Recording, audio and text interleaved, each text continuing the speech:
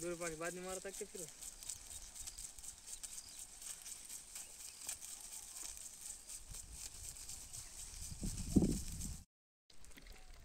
पहले स्टार्ट हो रहा है।